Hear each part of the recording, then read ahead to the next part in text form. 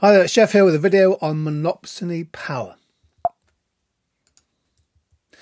Now, what's meant by a firm having monopsony power in a market or an industry? Well, a monopsony is where a business has buying or bargaining power with suppliers in one or more markets.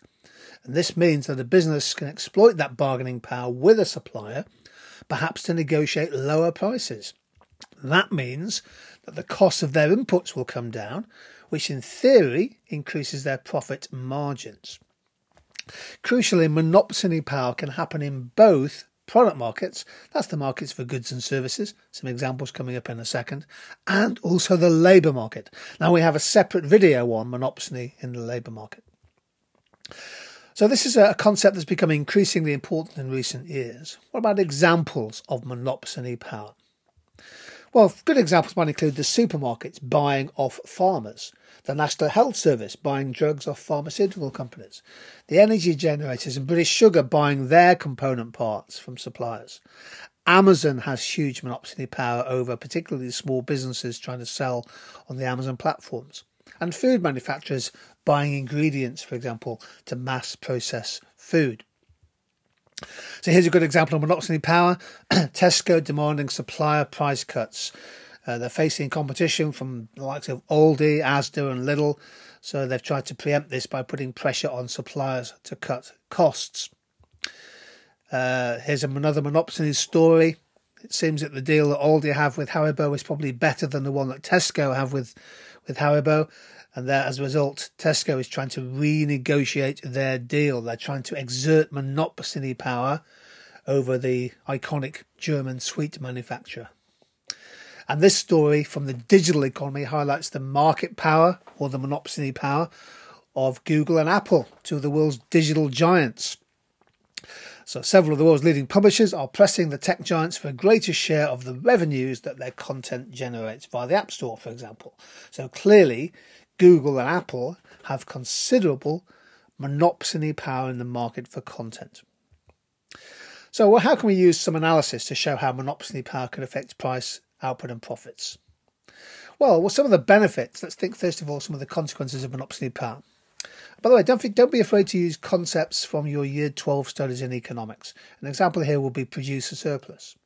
So, monopsony power in theory allows firms to achieve purchasing economies of scale, which reduces their long run average cost.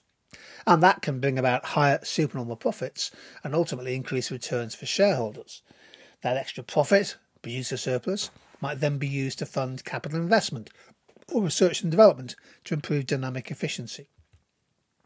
So here's a strong analysis diagram that you can use.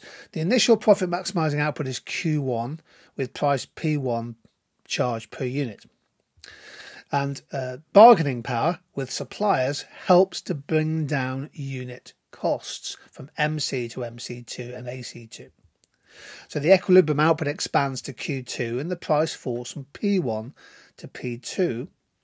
And as a result, total supernormal profit goes up. So monopsony power is a way of bringing down costs for firms, which in turn might lead to lower prices and higher supernormal profit. So, what ways might monopsony power improve consumer welfare? Well, consumers might gain from lower prices. Supermarkets, for example, might be able to negotiate better prices from manufacturers, and they may decide to pass on those to consumers, which increases their real incomes and consumer surplus. The NHS, for example, might use their bargaining power to cut the price that they pay for drugs used in routine treatments. And cost savings then allow more people to be treated within a given and certainly scarce NHS budget. So here's the consumer surplus argument. There was the initial consumer surplus ABC.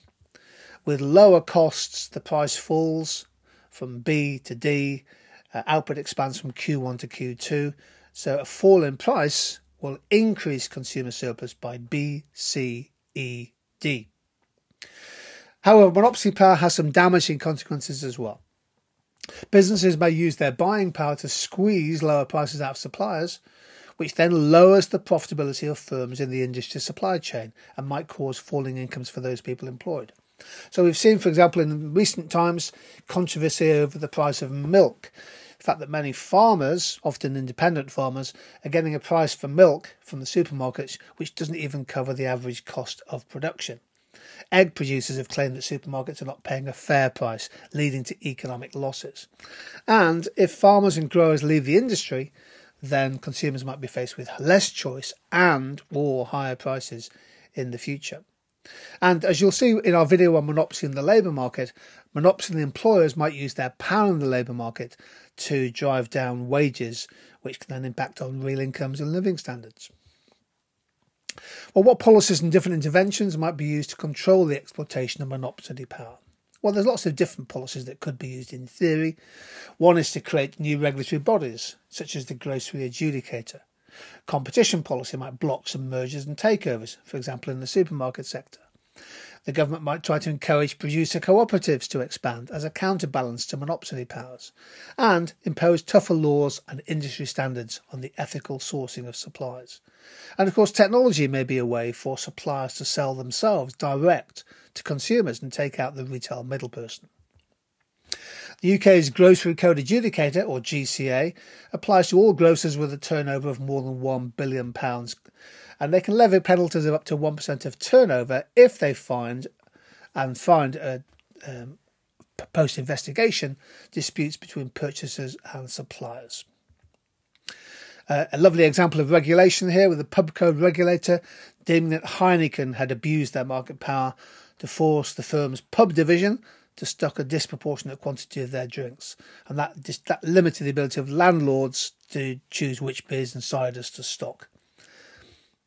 Uh, in strengthening the Prompt payment code, the UK government is striking at the monopsony power of larger firms when it comes to paying smaller suppliers.